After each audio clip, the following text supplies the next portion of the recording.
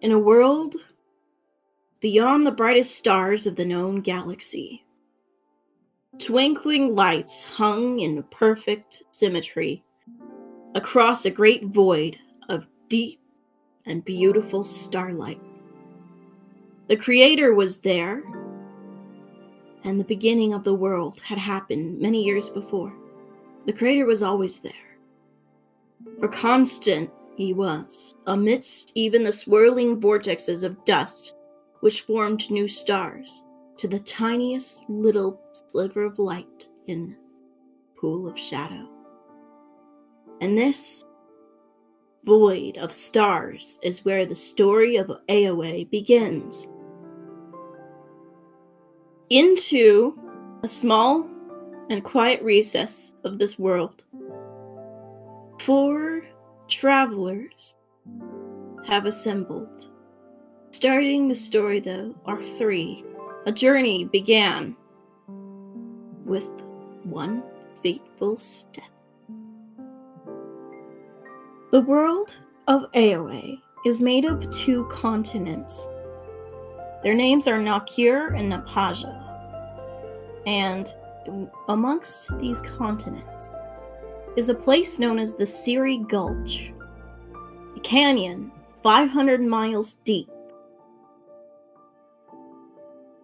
six miles at its shallowest point, and almost 11 miles down. And this place is very ancient, but was created due to a disaster which has befallen the land, called the Nurgawul Magic Crisis a strange and powerful phenomenon which has swept the world after a conquering army called the Orosed have come into the world. No one knows where they came from, but what they do know is the world will never be the same. And so, the story begins a tale of three companions who go on a journey to find out why their world is falling to pieces, but at the same time discover new things about their world, mysterious, magical things, and might or might not have to do with the very universe itself. And so, dear listener, I give you the tale Heroes of It.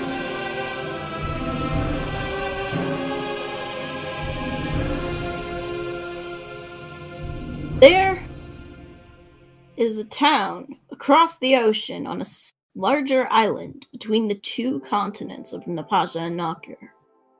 And it is called Maru, a place, a hub of ancient learning, discovery, and philosophical ideas. Famous for its palace of its high king, a man by the name of King Arkanen. He is a good king, and his subjects very much respect him.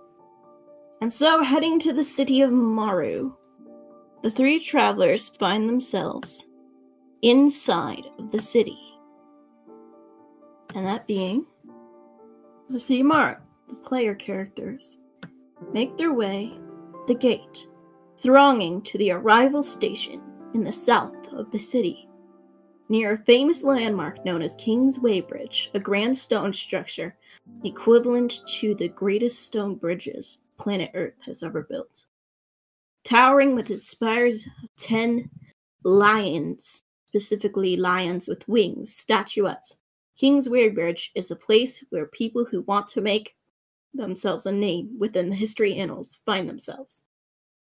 Thronging people pass you on the streets as you guys wander, coming into the city after your tiring long journeys of beginning a trek into the unknowns for either pursuit of scholarship, your past, another mission, or something else entirely related to something personal to you.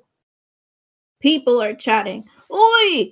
Look at my wares! Somebody's selling fish fished out of the very famous river that runs through the city, the Daishin River. Oi! Look at my clothing! Look at the gold on the collar of this beautiful tunic. Look at this sword. I hammered it myself with my strong arm, forged to withstand the mightiest of battles.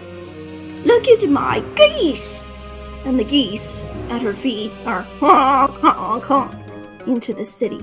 Just a loud throng of people. Look at my chickens! I mean, my coachies! For in this world, chickens have a special place in people's hearts. Aaron has to do this because everybody else is doing it. Boy, look at this booger. I pulled it out of my nose. Ah, says a man, passing in the road. Are you sure that's the wisest thing to be profiting on, young man? He says, as he wanders past. He's got a sheep following behind him, very fluffy looking one. He's got a large pair of white wings tucked on his back. Looks something like an Aasimar.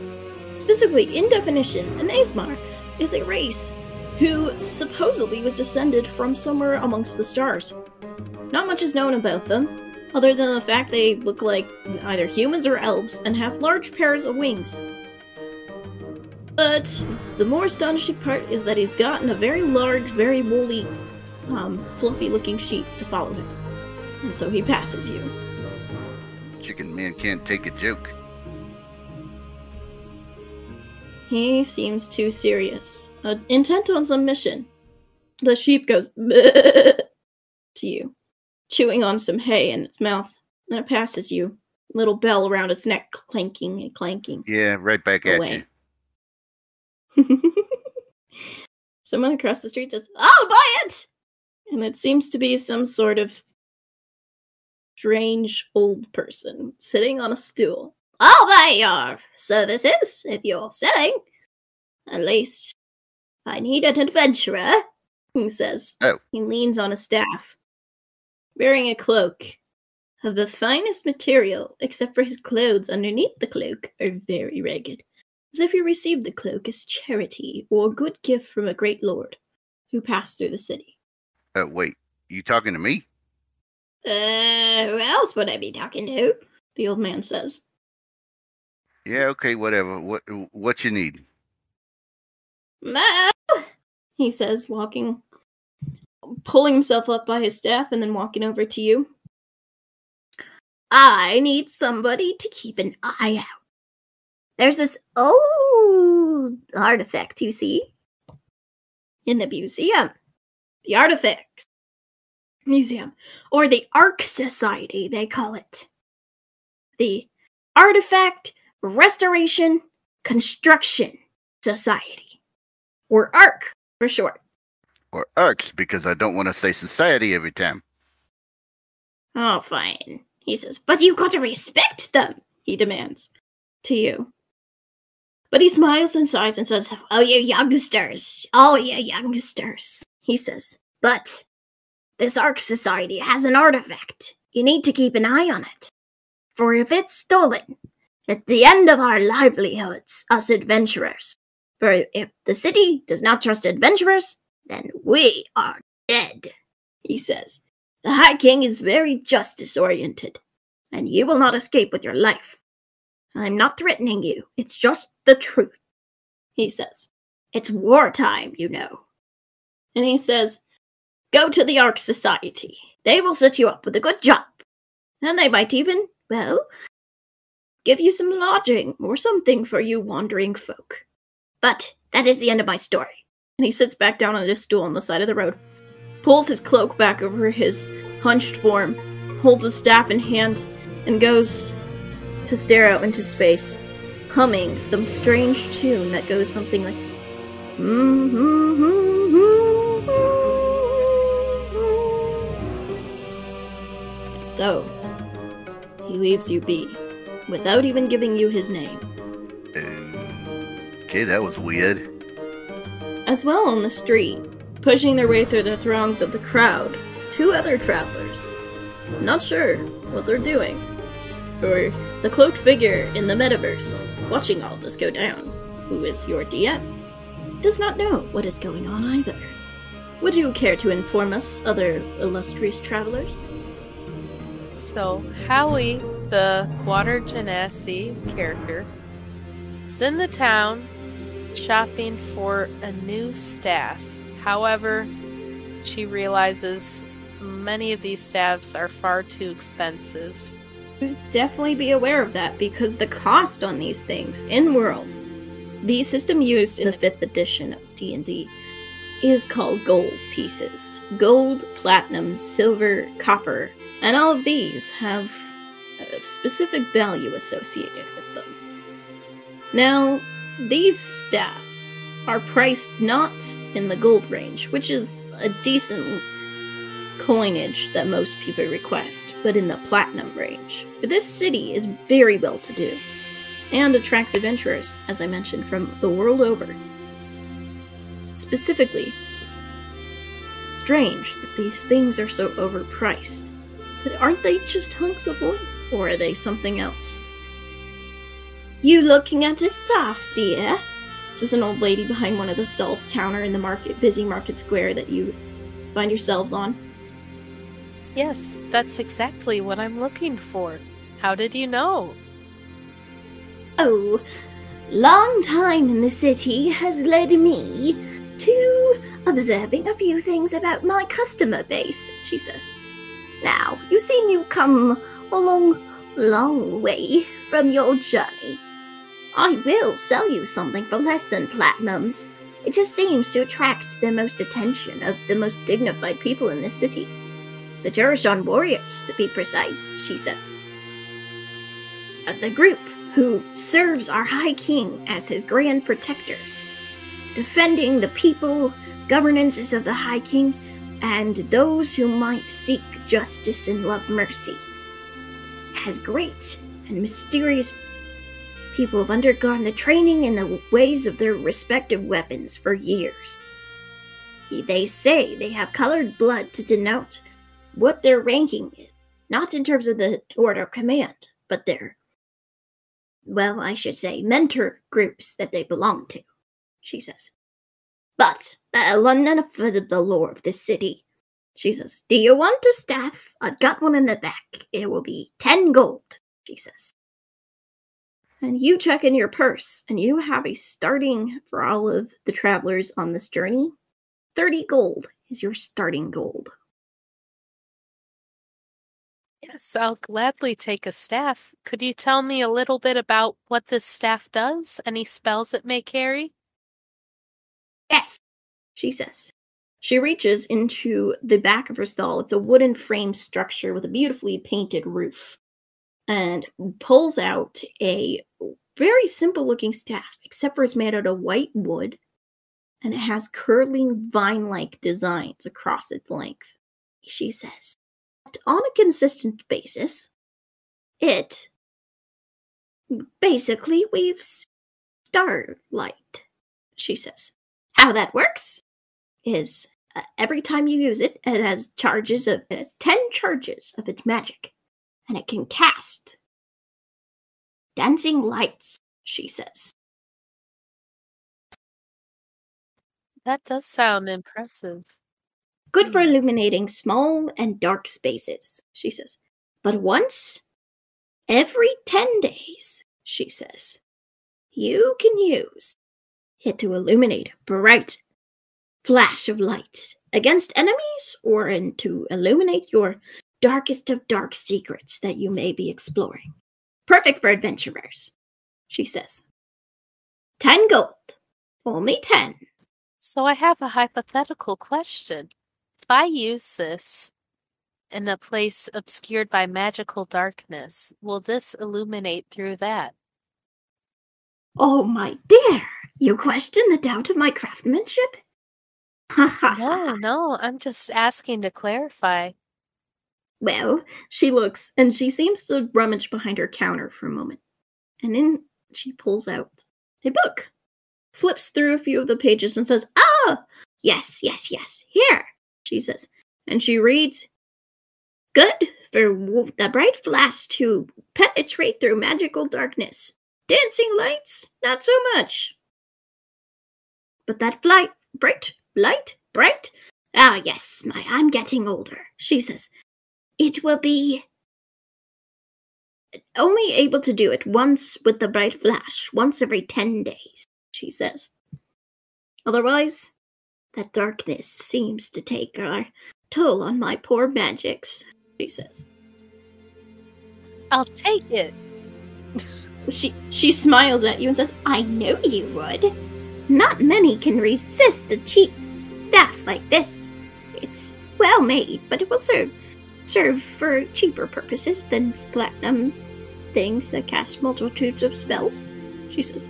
She smiles though, and hands you the staff, but first of all, she says to you, There's leather that I'm gonna put on your staff to protect it here, on both the ends and the middle, so you may carry it with in comfort without getting a splinter. It is polished, but still. What color do you want, dearie? Color. Orange.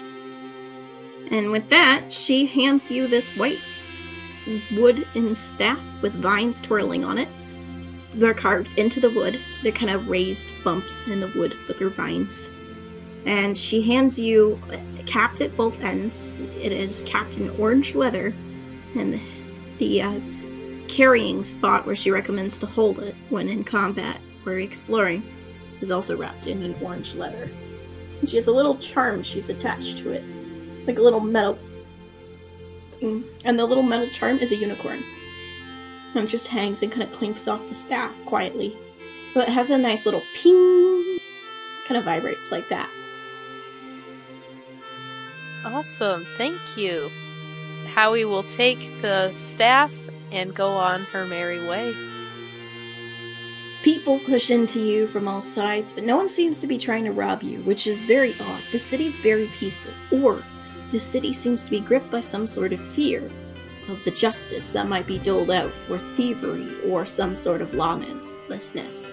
Pushing through the crowd, the harpist with his sheep dumbles for a moment on a root from a large tree growing in the middle of the thoroughfare. There's two lanes, so there's two lanes in this street. And there's a large tree spiraling up towards the heavens, reaching its branches. Strangely enough, this tree does not have green leaves, it has purple leaves. And a thick, glossy black bark. And he trips over one of its roots and goes, Oh! Dearie me! But as he turns to look, the sheep notices another traveler. Bleh, says the sheep. Bell goes ding, ding, ding, ding. And Bard and his sheep pass this other traveler who is Yisang is just gonna look around the city, trying to find other traces of calligraphy in the city. Yisang. Looks at the realm around her and sees that there is a prominent, beautifully inscribed set of calligraphy on a door across the street from you. And the calligraphy seems to be scrawled in a language which looks like flowing water. Specifically, this language is known as Kanakin. It is the local language pretty much equivalent to what the 5e universe would call common. And she notices that there is a tall stranger wearing a dark colored leather apron and holding a very fine looking brush in their hand as they continue to write these words Come, all you are weary, come and find your rest. Scrawled in the most beautiful handwriting that you can see. But what's strange is this these letters seem to have an afterimage that floats on the breeze, just a calming sense to them as if they are magical, or might be something even more. What do you want to do?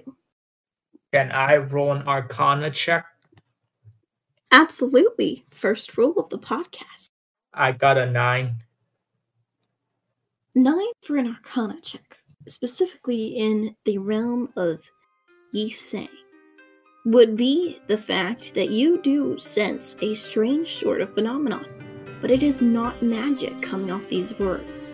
It seems that the very essence of these words has been breathed in life by whatever power is holding the world in its places. Most around here would say it is the creator god, Phos. But there are other people who suspect otherwise. Most, though, do think this. And as far as most people can tell, this would be the case as well. But these words seem to give the person who reads them a sense of comfort, even a longevity, not just a temporary feel.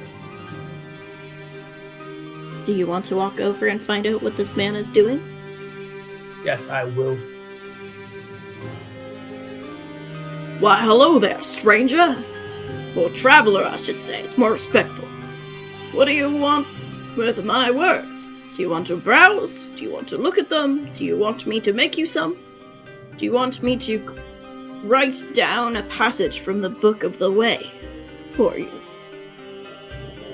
Or do you want me to teach you something? Well, she said, I'm some sort of a calligrapher myself, hailing from Ergen City, and I was just wondering if I could improve or have if you have some sort of tip you'd like to share with me. I oh, Bergen. Bergen City, you say? Bergen's in the north of here, in the uh, warmer lands, isn't it? He says. Yes, indeed. Well, you're in the right spot. You see, I could teach you a thing or two. What do you want to learn? How to do the proper calligraphy for the Kanakin language? Proper calligraphy for the Book of the Way? Or do you want me to just teach you how to make more beautiful words? I guess I'm interested in the latter two, the calligraphy of the way and just in general. You are in luck. The Way, the Book of the Way, is written in the common tongue so every man, woman, child, and otherwise may understand its contents. The thing is, though, bringing about words as a commitment, memorizing them, bringing them close to the heart of those who read them, is the first step to understanding them. How I may recommend you doing this? Take some time to visit the Church of the Way and find out more about these words. For an understanding them is where they get written on your heart and written by your hand. He says, I cannot teach you much more other than the fact that is it is a commitment you must make yourself. I can teach you what I know, but it is your choice to make, he says. That's perfectly fine with me. And pray tell, is this way the way of God? Yes, he says. The High King first learned of this way when he encountered some travelers. They're called, well, these travelers were from a place north of here, basically near the founding of our cities and kingdoms way back in the ancient days. And they followed the way of Phos, the Creator, God of light, and everything within that realm. Even the shadows may fear him. And I promise you, this world has many shadows, but they fear him all right. I can see it myself. And with that, you do realize his hands, the veins in his hands. Give me an insight check. I got a two. The thing you realize is that there is a strange color. You don't know what it means, but his veins are not a regular bluish purple of a um, humanoid. They have a bright golden color to them, and they look like golden branches underneath his skin. He smiles at you and says, I see you've noticed my veins. But for you to discover that is the case. Church of the Way? He points on his map. Now, if you go north in the city, follow the road between the arrival station and the river, along the bridge, the King's Way Bridge to be precise, is the Church of the Way, a large and beautifully constructed building. Okay, I guess she'll walk there then. But before that, sorry, I was like, Mhm. well, that vein seems very unusual. Hopefully, it'll, if it costs you any pain, it will go away soon. the man laughs at you. I'm not laughing directly at you, but the uh, concept that it causes me pain. No. In fact, it makes me feel more alive. My blood is this color. For a choice that I've made. As I said, you must make the choice. But it represents my commitment. My gifting by Phos. For my journey. You have your own. Oh, wait, my name is Matt, he says. Matt Calligrapher. That is my full name. Nice to meet you. My name is Yi Sang, Yeah. Jung Yi Sang. It's spelled with an S A N G. I see, he says. Well, very lovely name indeed. I wish you all the best on your journey. And as as you speak with him, he hands you a sheet of paper, but it has your name inscribed in the most beautiful flowing script. Looks like water, as I described it. Looks like waves. And he hands it to you and says, Phos be with your journey. Here is your name that you may remember. And with that, he bows to you in the cordial greeting and um, leaving, greeting and leaving you. He steps behind his counter in his little area he's been working in and gets back to work on making this come, you who are weary, come and find your rest. And so, do you head towards the Church of the Way? Yes, she'll be making her way over there. Now, Aaron, what are you doing, first of all? And would you like to describe your character a bit more than the name Aaron? Yeah, he, he looks like an elf. He stands about the size of a normal elf, but he's already figured out he's not an elf.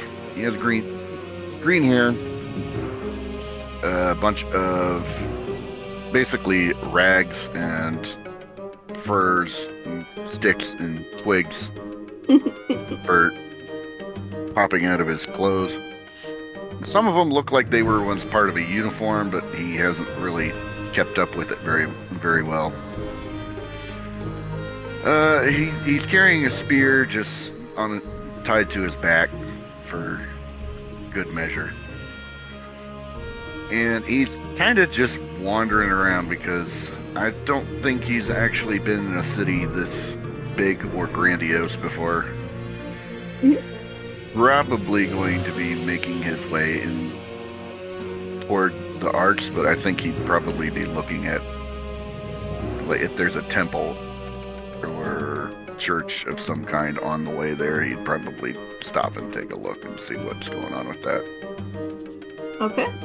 Well, another passerby on the street, this one herding a flock of geese. A small child, to be precise. Blonde, colored hair, shimmering little brown eyes, and the biggest grin you can imagine. Hello, stranger. The child says. I mean, traveler. Honk, honk, honk, honk. The geese make noise in the background. You looking for a place to go? Uh, well, I, I guess. What exactly are you up to? I am. I am herding geese. I think. Yes, that's what mommy told me to do. You see, there's a brown goose, there's a white goose, there's a red goose. Where'd the red goose go? And I checked down, and the that goose has started eating a farmer who's selling their like cabbage looking things down on the ground. Get away from that bub! The goose honks and comes back to the group of geese. And there's about 10 of them. And there's the yellow goose. Wait, wait, wait, wait, wait.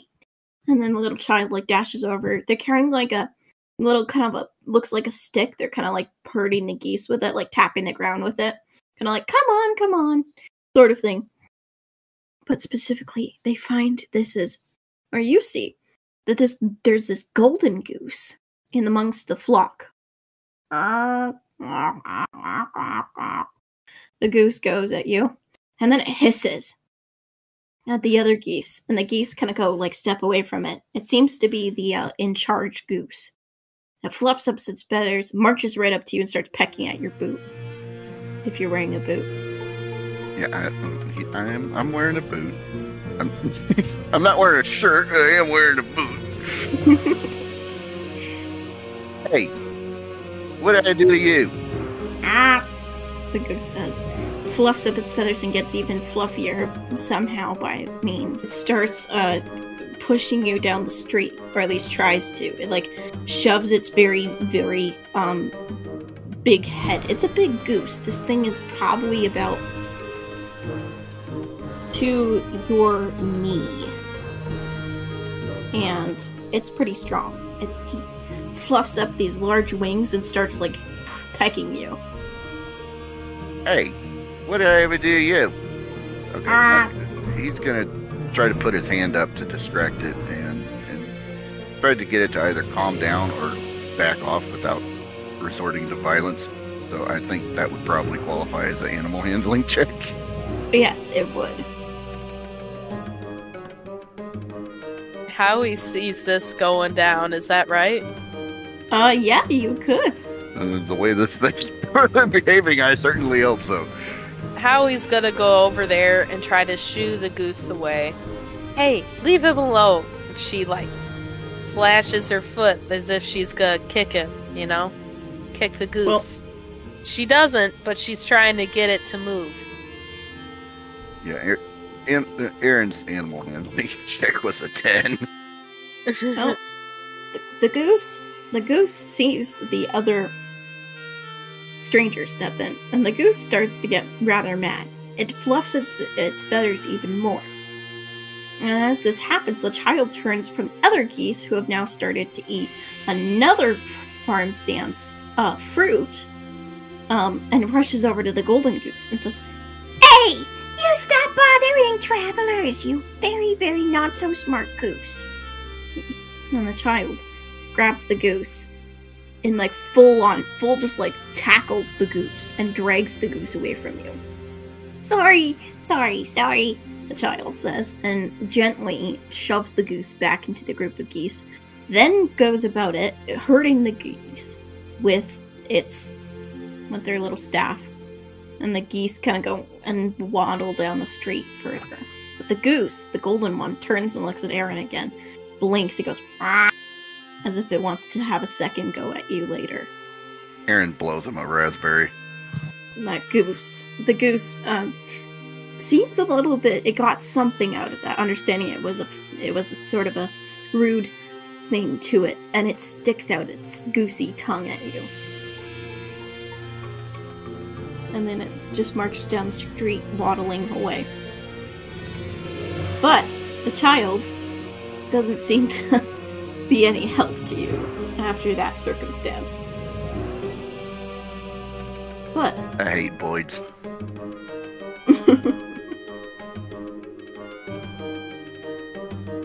As this geese incident is going down, a young woman wearing a blue uniform that has very stiff looking collar, an elegantly pressed, um, kind of quilted, quilted overcoat, and a pair of shining black boots walks up. She is human, has long, flowing red hair, and bright, gorgeous, deep brown eyes. Puts a hand on her hip and says, Oi, you're looking for directions? Not geese. Apparently, we'll give very good ones, she says. At least, not that I've heard of. I'm part of the city watch. Are you looking for something? She says. And you, Janasi, are you looking for something? She turns to Howie. I'm not looking for anything. I just saw someone in need of help. Yeah, thanks for that, by the way. Yeah, of course. Good to meet you. Anytime. Yeah, no, so I'm looking for something called an arcs. Oh, the Ark Society, she says. The Ark Society, north of the city, across Kingsway Bridge. But before you do, I'd recommend stopping in the Church of the Way. It's a beautiful, mysterious city. Landmark. And it's been here for thousands of years, she says. I would also recommend checking out the Folded Textile Emporium. At least that's my personal recommendation. They make the best, and I mean the best cloaks, she says. And with that, she says, Follow me. And she says, If you want to get a good sense of the city, always ask the city watch. We're here to help, not here to harm. And she unsheaths a spear from her back. It was kind of like how you have yours on your back, and marches up the street. And she herds the geese herself out of the way. They've been very slow moving because they're trying to eat the rest of Farmer's stuff. She says, Child, get your geese back in line. They have a place to go, as do we. And with that, the geese part the ways, um, kind of get parked in an alleyway. Look over at Howie, see what Howie is about gonna do. Well, the Church of the Way sounds interesting now, doesn't it? Yeah, what way exactly is that? Um, well, that building seems to look like a church. Howie turns towards nice, beautiful, tall building. And I, excuse me, I'm sure you would like me to roll an insight check. Indeed. You want to explain how that works? Yeah. So insight helps you decide if you can determine true intentions of a creature or being able to know social cues. Like a church has a certain look to it oftentimes. So that can help with that. Let's see what I rolled. So you got a 12. Okay. You walk down the streets, tall, beautiful buildings on one side, and a glittering, very clean looking river on the opposite side, on your right hand side. The tall buildings are made out of stone. They have spiraling looks to them. So these are not like square, blocky looking houses. These houses look like they're built in spires, starting with a larger, thick stone base and going up in a spiral shape till the points are high above the city. Like points of um, sewing needles up in the sky. They look like they're spiral shells that you might find on the ocean seashore. And so, as you are walking, people pass you and at the regular city hustle and bustle. But then you come to a square, a very large open space within the city. Pass you pass the Kingsway Bridge. You see where it is. There's a second bridge though, spanning the river. It's thin, tall, and doesn't resemble a spiral. Instead, it looks like a very tall building oriented towards the sky. It has four facets, like the facets of a jewel, as in, it is um, the top of it is like a triangular shaped roof and has four spires at each of the corners of the roof, peeking up in sort of a elliptical shape, very finely crafted stone, cut into ellipses. They look like an oval, but thinner. And the building has stained glass roof all the way along it, but it goes it spans the river like an arch. Arched bridge. But it has these large double doors in the center, and then two sets of doors off to the sides of that large double door. And all of them are open, and a pair of steps running opposite each other lead up to the building. So the stairs, instead of being like one big group of stairs, are two sets that are facing sideways built into the side of the wall. And it leads to a grand balcony looking entrance with carvings along the stone of what looks like birds, flowers, and a symbol of a seven pronged star with a cross in the middle of it. Like an X shape. Ah, there's the beauty, says the city guard to you. I hope that this is the place that you wanted to check out. I'm here for my midday rest, she says. You see, the shade of the gardens at the back of this building are so wonderful, she says. And with that, she she smiles at you and says, Safe travels, travelers. and she walks away. They like to avoid traveler, don't they? They do. They do indeed. I also would agree. Howie says. So do you go up into the building? Absolutely. Alrighty. Yeah, might as well. Meanwhile, for Yisang, you see the same thing that I've described to the two other travelers. Except for you have made yourself walk up the steps already. And do you go into the building? Yes. Thank you for listening to Heroes of Aeowe.